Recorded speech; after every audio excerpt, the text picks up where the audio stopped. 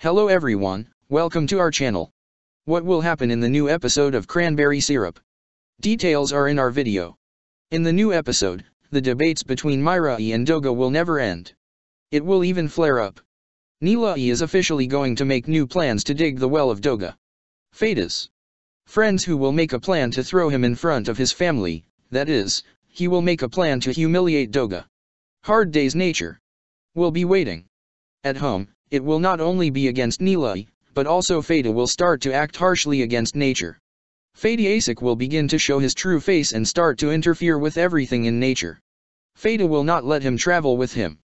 Yes, friends and the discussion will grow, and friends want Fada Doga's doctor to change too. Will want. Friends who will want the doctor to be a woman, male doctor.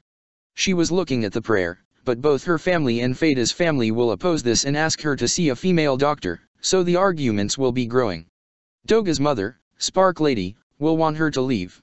Do you think Fady and Doga will break up? Love multiplies when shared. Goodbye.